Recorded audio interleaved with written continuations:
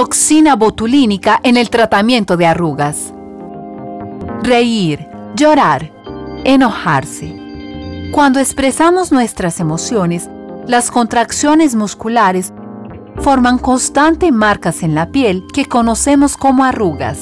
Además de la acción muscular, las arrugas también son causadas por diversos factores como el envejecimiento, la gravedad, la exposición al sol, la mala alimentación, el tabaquismo y la genética.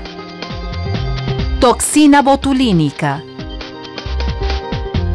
Actualmente, el procedimiento más utilizado para la prevención y tratamiento de las arrugas es la aplicación de una sustancia llamada toxina botulínica. Descubierta hace más de un siglo, viene siendo utilizada desde los años 80. Se trata de un complejo de proteínas de origen biológico. La toxina botulínica está indicada para arrugas y patas de gallo, arrugas perivocal, arrugas del cuello y arrugas del pecho, líneas en la frente, elevación y arrugas entre las cejas, la sonrisa gingival y la región nasal. Además de estas indicaciones, la toxina botulínica se utiliza también para tratar la sudoración excesiva, trastorno conocido como hiperhidrosis.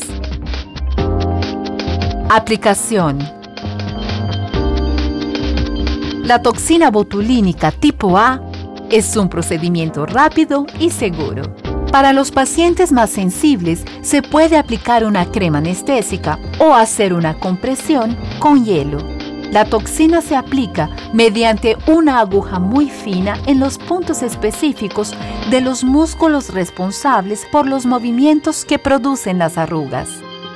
Estos puntos son seleccionados de acuerdo con las características de cada persona. En pequeñas dosis, ella bloquea la liberación de acetilcolina, el neurotransmisor responsable de llevar los mensajes eléctricos del cerebro a los músculos.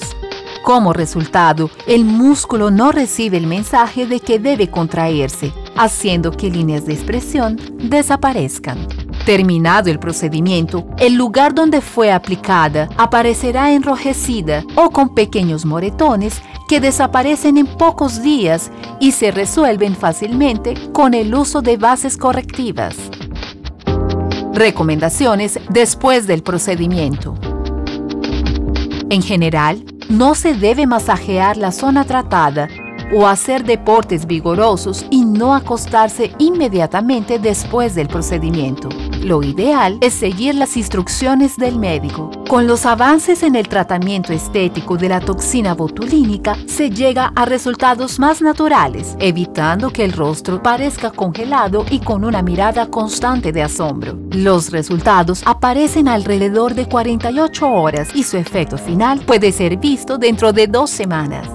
El efecto de la toxina botulínica dura unos pocos meses y varía de persona a persona. La acción de la toxina botulínica disminuye poco a poco, manteniendo el resultado durante el tiempo previsto.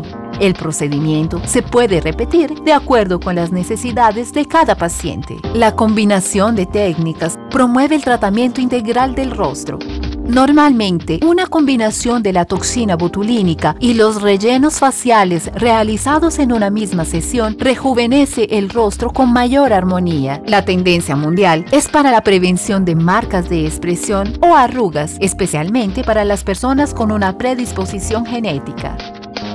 Contradicciones el tratamiento con toxina botulínica no debe realizarse en las mujeres embarazadas, las mujeres que están amamantando, personas con enfermedades neuromusculares o personas con infecciones de la piel en el local de aplicación. Para obtener más información, hable con su médico.